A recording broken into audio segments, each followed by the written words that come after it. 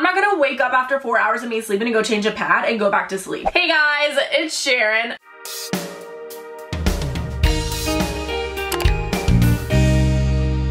I hope the first thing you notice is that we are in a completely different filming setup. I have been using the same setup for so long. I needed like a change of scenery, so I decided to change it up a bit. And I mean like, it's simple and it's basic, but I think it's cute and that's basically my brand. So yeah, let me know what you guys think about it. Now, I did make a video where I reacted to TikToks that girls should know and ones that only girls understand. And you guys seem to really enjoy that. And I mean, I really loved it. And also, if you didn't hear, I just recently downloaded TikTok, so I just am now finally hopping on the TikTok train. This video, I'm going to be reacting to TikTok period hacks. I do make a lot of period videos on my channel. I have a whole all about periods playlist just to give you an idea, which you can go binge, and that has like so many tips, tricks, hacks, stories, all that good stuff. And this one, I'm just going to react to some of these TikToks and hope that they actually give me some solid period hacks and maybe even debunk a bit. So that's what we're going to do today. And if you want to see more videos like this, give us a thumbs up and let me know in the comments below. Make sure to follow me on my Instagram and my Twitter and on my TikTok so you can have a say in my videos and be in them just like this one. And of course, if you want to see more, you can definitely subscribe for more. But enough about that. Let's get some period hacks. Okay, so let's do the first one.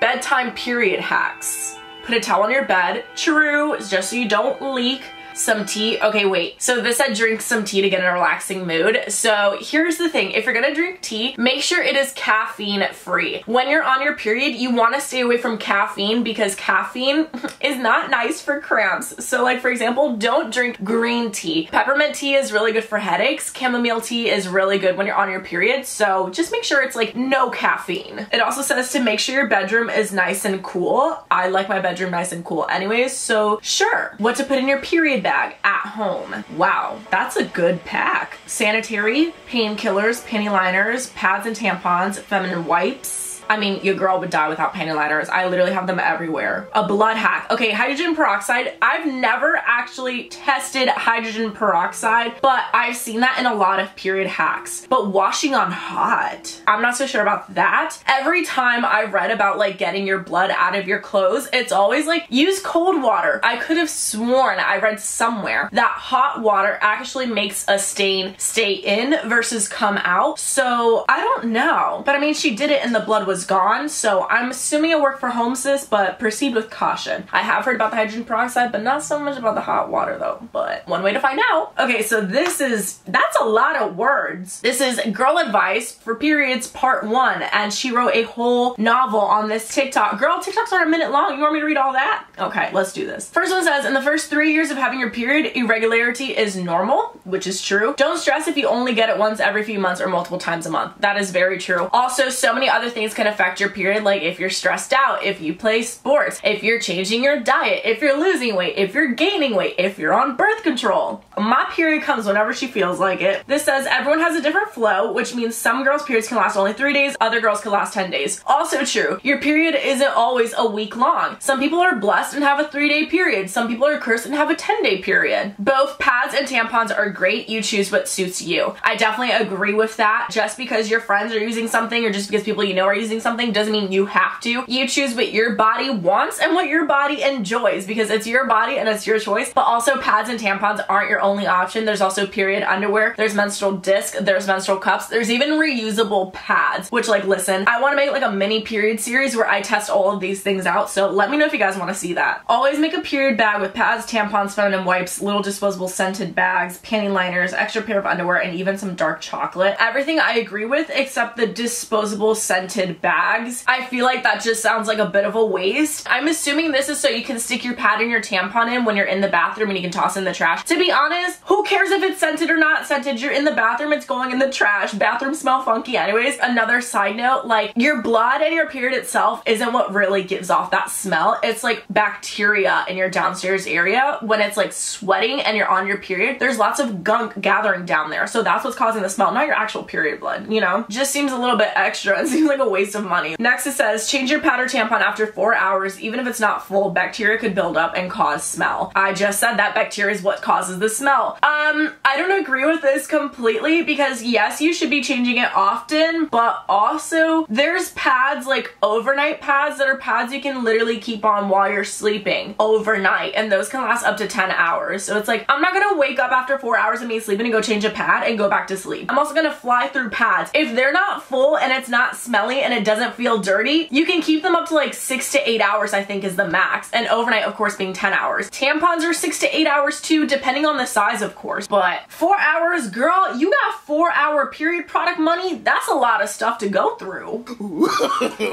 if you're on your period and the teacher won't let you go to the bathroom, just leave. Trust me, which is true. I preach that in all my freaking videos. Like, you can't stop your blood and you can't control your blood. So your teacher can like kiss my butt.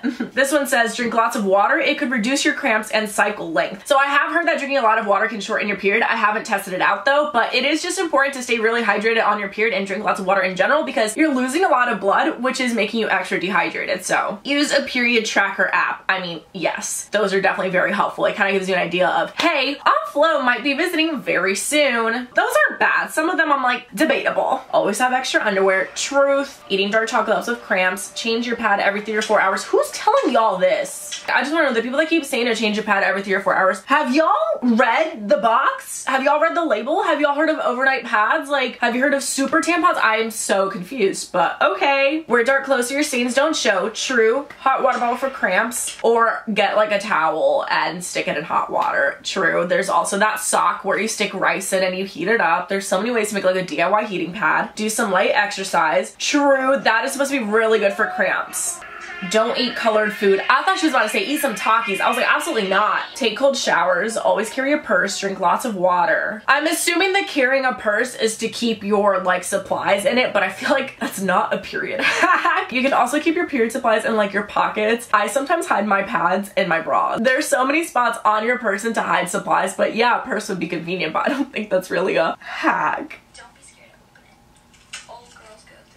It's true. Sis is speaking some facts. Like, I don't think you should be scared of opening your pad in the bathroom because, again, people know what a period is. You're gonna get your period. That's a part of life. Periods just happen and they always will happen. If you don't want people to hear that sound, like if you're still a little bit too embarrassed, you can flush the toilet while opening at the same time. The number one go-to hack I used to have in middle school. You can also open it beforehand. You can use scissors to cut the little ripping part, but I think flushing the toilet is the easiest one. I don't know if you're starting your period soon. Let's see, because I do have a whole video on signs that you're getting your first period, so definitely go check that out if you haven't your first period yet. This says you're getting more discharge than normal. This can start happening several months before your period starts. Discharge, if I remember correctly, can start a year or a year and a half before you start your actual period. So when you start seeing discharge, just know she's coming. And also, discharge is a very common and normal thing. Discharge is that little ooey gooey stuff you see on your panties that you're like, why is it ooey and gooey and why is it kind of white and why is it kind of like slimy type of look? That's discharge and discharge will probably keep happening for a very long time while you have your period. It says stomach ache or cramps. I mean, true, but also like, what if I just ate a lot of tacos or something, you know? Tender boobs. So yes, when your boobs start growing, that's usually around like a year or I think max two that your period is coming soon. Brown or reddish discharge. When I first got my period, I had like this brown thing in my underwear and I was like, oh my god, did I just like liquid poop in my panties? I found out that it's discharge and the reason it's brown is because that's just old blood. So it's true. Your discharge is white slash clear gooey stuff that comes from your vagina. Oh, well, yeah, I definitely just said that. Bloating in your stomach, you're feeling tired, and you have mood swings. I mean, fair, but like, also I'm a girl and I just get annoyed easily, so. Again, with the bloating, what if I just ate a lot? A Oh, God. different sizes. It's really gonna depend on Yep. how much of a flow you have. Yep. Now, the anatomy. You have three holes. The first one Yep. the pee comes out, the middle one's where the period comes out, and the last one where the poop comes out. True. Before putting in one of these bad Very important. a leg up. If you're like a first-time tampon user, it'll definitely help. Or you can even use a mirror to like look and like help you out. I'm sorry, I had to get one to show you. You don't want to angle it up. You want She's to spitting angle it at, like a 45 facts. degree angle towards you. And there's gonna be a grip right here. Yep. So with one hand you're gonna hold the grip and the other hand you're gonna push this part up. So like this part will be inserted. This part will stay out of your body. After you push this part up, it's gonna look like this. Ah. And then this white part will just stay and the plastic applicator will come out. Yep. The string will stay outside of your body. So when you change it every 48 Don't hours, you just cut it out. the string. The plastic That too. Okay, I am so glad Home Sis just spitted like straight up facts. I like she's like, you can keep your tampon for four to eight hours. I don't know what those girls are talking about with like the three to four hours. Sis, I'm not bleeding that much, she could stay in there a little bit longer. But also when it comes to tampons, make sure you don't keep them in too long because there's this super rare thing called TSS, which is toxic shock syndrome, which that usually is related to and stems from tampons because they're gathering a lot of bacteria and not just inside you. Literally the box says how long you had use it up for, you know? She said everything, everything was great. Do not cut the string. The string is how you pull the tampon out. If you're scared of the string hanging out of your underwear, tuck it in between your lips. And I'm not talking about these lips, I'm talking about those lips. What to put in a period bag for school. Pads and tampons, painkillers, extra pair of underwear. Okay, that's not bad at all. My first TikTok I ever made was a period emergency kit that I actually got from the dollar store, so it was very affordable too, so you could definitely go check that out. And I'm pretty sure I have made some on my channel too. Tips for a happy and healthy vagina. Use a gentle soap like Dove down there. Coconut oil to shave. It's unscented and it works wonders. So this razor stays away from razor bumps. Cranberry pills are packed with antioxidants to help prevent UTI. Something, I don't know what that is. okay. Course. This whole eating pineapples to make your vagina taste good and smell good, it doesn't work like that. Like there have been so many studies done on that and it just does not work like that. You'd have to eat so much pineapple for it to make even the slightest difference. But okay, I mean, hey, it's a fruit. They got some great vitamins in it. Cranberry is very good for UTIs, but make sure it's like genuine cranberry, not the little cocktail mix that has a ton of sugar. When it comes to soap and cleaning your vagina and washing your vagina, so what's great about a vagina is it cleans itself. Obviously it's cleaning like the inside. You can definitely still clean your outer vagina just as long as you don't go inside. Honestly, I usually just like either rinse it off with water or I rinse off with water and add a little bit of soap on the outside and that's it. Never go on the inside, never go in between the lips, never do anything that's ever remotely close to entering the vagina. Not even like entering your body, but just entering the closed space. I'm trying to put this in like layman's terms Try to lean towards unscented too because again, irritation and all that stuff. Keeping a healthy diet is very important if you want to smell good. Yeah, I don't know about that. Girl, that's just bacteria. That's just sweat. Like if you try to smell good down there, just don't wear tight clothing when you're on your period. Try to avoid tight clothing when it's really hot outside and you'll be fine. You should be naturally eating healthy as much as you can anyways. Lemon water for your immune system. Truth. Lemon water is really good. Things you shouldn't do on your period. Let's see, girl. What is it? Wear white eat salty foods, true. You definitely want to stay away from very salty foods, especially fast food. Eat spicy foods, probably because of cramps. Drink caffeine, absolutely not. Wear light clothing, absolutely not because of stains. Oh, those tips were actually not that bad. Some of them I was like, mm, that's not quite how it works. But for the most part, I feel like those are actually pretty good. So good job, TikTok. I would say it is period approved by a stranger on the internet. Anyways, if you guys enjoyed this video, give us a thumbs up and let me know in the comments below. If you'd like to see another video of me reacting to TikToks, let me know. And if you have a specific type or topic, also let me know. Now, shout out of the day goes to Amelia on Instagram. Thank you so, so much. If you would like to be shout out of the day, just follow me on my Instagram and stay active. And I do have a series on my Instagram Instagram where I answer questions that you're too afraid to ask anyone else so you decide to ask me and you can binge that series on my IGTV. And like I mentioned, I did make a TikTok. I will be making more period related content on TikTok as well. So if you want to see more, definitely go follow me on TikTok. And if you want to see more period content right now, I have a whole all about periods playlist that you can binge with so many things like period hacks for school, period hacks in general, how to swim with the period, what to put in your period kit, period acne, all that good stuff. Definitely lots of bingeable stuff too. But if you want to see more, definitely subscribe for more. And all that being said, I'll see you guys next time. Bye!